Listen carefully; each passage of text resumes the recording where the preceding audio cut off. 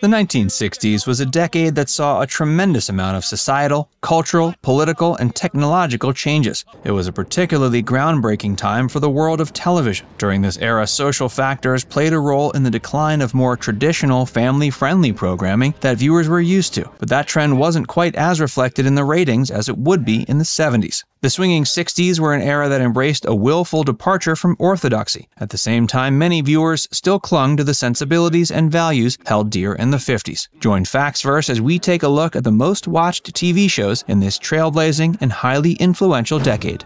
1960 Gunsmoke. This classic Western series dominated the airwaves for the last three years of the 50s, clinching the coveted number one ranking in the Nielsen rating system. Westerns continued to be popular in the first half of the 60s, and likewise, so did Gunsmoke. The series was set in and around the town of Dodge City, Kansas during the 1870s. It was the era in which the American West was being established by settlers. The series' main character was Marshal Matt Dillon, played by James Arness. Dillon was tasked with upholding the law in the Wild West town, where people would often display very little respect for authority. He dealt with a multitude of different problems pertaining to frontier life on a daily basis, from gunfights to cattle rustling to saloon brawls and land feuds. These difficult situations often called for him to display outstanding braveness while maintaining sound judgment. Fortunately, Marshal Dillon was well versed in both of these qualities. While Gunsmoke ran for 20 seasons from 1955 to 75, it lost its top dog rating position in 1962 to another influential Western series.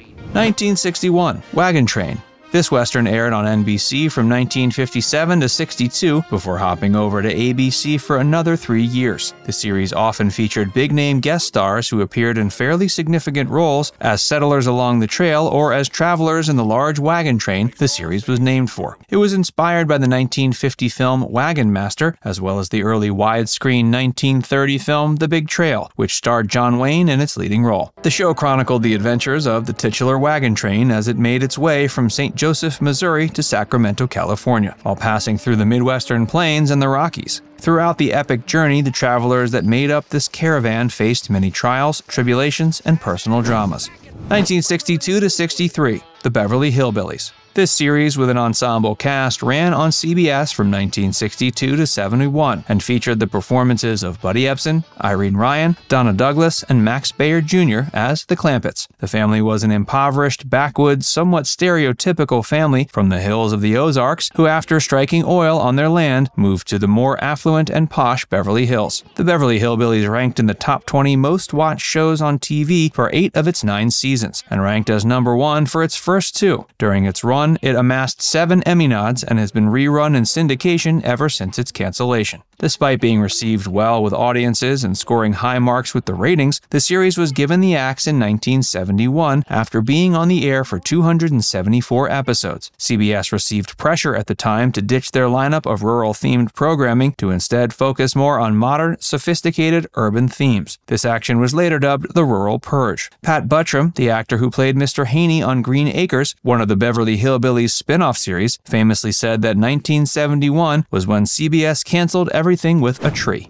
1964 to 66, Bonanza. The mid 60s were essentially the last years that the viewing public still craved westerns. After this three year stretch, westerns no longer had the same kind of appeal, but they didn't entirely disappear either. Bonanza was broadcast on NBC between 1959 to 73, although it enjoyed its largest audience during the mid 60s. It was set in the 1860s and revolved around the rich Cartwright family who lived near Virginia City, Nevada, on the border of Lake Tahoe. The title of the series came from a term that miners would use to describe large deposits of silver ore, and its etymology can be traced back to a Spanish word for posterity. The show followed the adventures of the Cartwright family, which was headed by the three time widowed father Ben Cartwright, played by Lorne Greene, and his three sons and their respective wives. Bonanza was considered to be a pretty atypical Western at the time, as the bulk of its plotlines had less to do with the range itself and more about Ben and his family and how they cared for each other, their neighbors, and justice.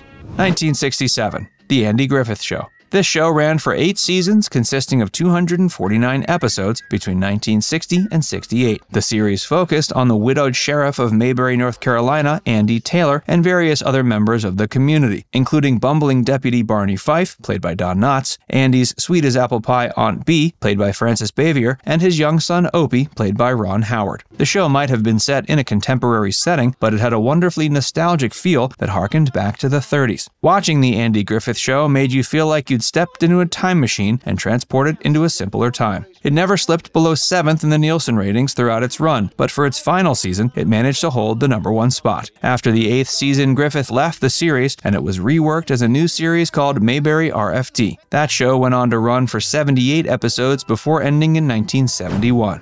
1968 to 69, Rowan and Martin's Laugh-In. Here we have a sketch comedy program that laid the groundwork for many other sketch comedy programs to come. It ran for 140 episodes between 1968 and 73 and was hosted by comedians Dan Rowan and Dick Martin. The title of the program was a play on the hippie love-ins and be-ins that were trending during that time. The show featured a series of rapid-fire sketches and gags, most of which were politically poignant and sexually charged. What audiences got with Rowan and Martin's Laugh-In was boldly new and fresh. The series wasn't afraid to push the boundaries of what was previously deemed unacceptable on TV. The world was in a state of flux, with the counterculture movement of the day serving as a catalyst for many social and cultural changes. Some found the subject material and humor to be offensive, while others ate it up. Because of this polarizing effect, the program received quite a lot of attention and enjoyed two solid years of being the number one most watched show in America. Rowan and Martin had previously established the act performing in nightclubs where they would respectively play an exasperated straight man and dumb guy. They brought this routine to the show, which proved wildly popular. Other cast members included Gary Owens, Ruth Buzzi, Judy Carne, and Henry Gibson. Each episode would include recurring sketches and start with a series of short skits that served as a cold open, something SNL did later as well. Some of the most popular recurring sketches included Sock It To Me, in which Judy Carne was tricked into saying a phrase that would result in her falling through a trap door, being splashed with water, or humorously accosted in some manner.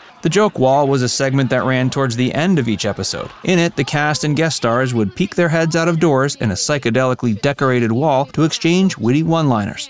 Now it's time to hear from you. What was your favorite show of the 1960s? Let us know in the comments section below. And before you go, make sure you give this video a like and subscribe to FactsVerse if you haven't already. Click the bell icon to stay updated on all our latest content.